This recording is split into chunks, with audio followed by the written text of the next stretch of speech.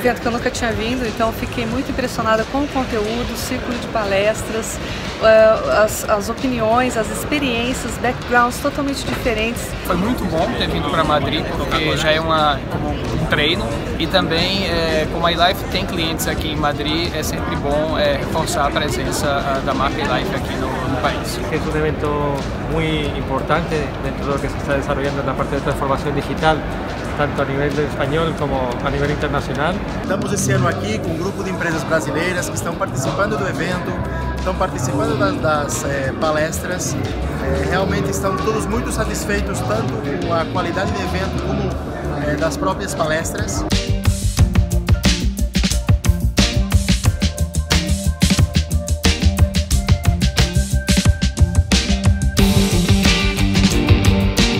Isso, gente. É, esperamos vocês no 10 2018. Um abraço para todos.